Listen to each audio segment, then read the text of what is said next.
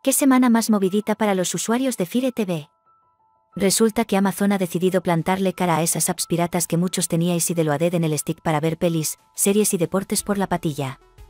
Sí, hablamos de esos APK que instalas en dos clics y te dan canales, premium, gratis.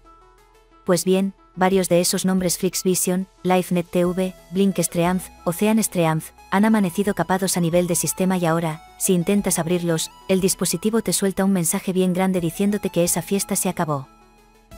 Para entender la jugada hay que remontarse a principios de año, cuando un informe de Endes Analysis señaló directamente a Amazon, Google y Microsoft como culpables del repunte de la piratería de televisión.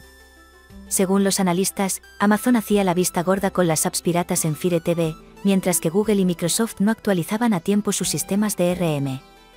Dicho y hecho, Amazon anunció a la BBC que haría más para parar esa sangría y, a los pocos días, varios usuarios de todo el mundo empezaron a notar los primeros bloqueos.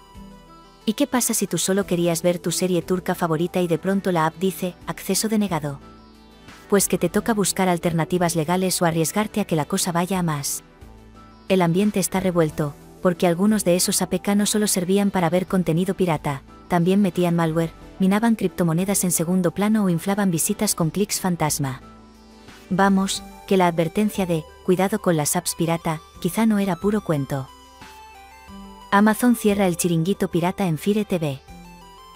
Usuarios se encuentran con este mensaje en pantalla al intentar abrir las aplicaciones de piratería bloqueadas. Imagen. Amazon se ha estrenado con su lista negra de aplicaciones y, según AFTV News, esta es la primera vez que la usa para algo distinto de bloquear launchers que cambiaban la interfaz o apps que reasignaban los botones del mando.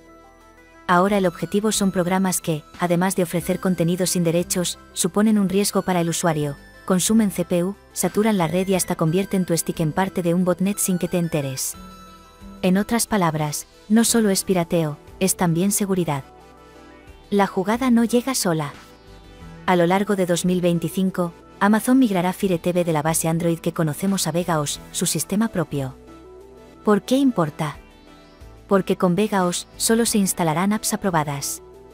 Adiós Sideload o la tienda cerrada, como pasa en Apple TV todos los desarrolladores tendrán que reescribir sus apps y pasar por el nuevo sello de Amazon, si no, su APK no arrancará. Para quien vive de un par de APK pirata, eso significa el fin de la barra libre. Detrás hay varias presiones. Por un lado, las entidades de derechos de autor han puesto el grito en el cielo y los gobiernos, sobre todo en Reino Unido, amenazan con multas serias a los proveedores de plataformas que faciliten la piratería. Por otro, Amazon quiere curarse en salud antes de que la ley les salpique.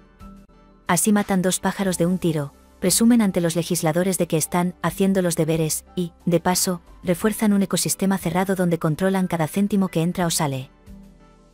Lo que tienes que saber si usas Fire TV. Si te aparece el mensaje de app deshabilitada, olvídate, no hay VPN ni DNS mágico que la salve. Kodi sigue vivo, pero ojo con los repos de dudosa procedencia. Amazon podría bloquear complementos que hagan scrapping de contenido pirata.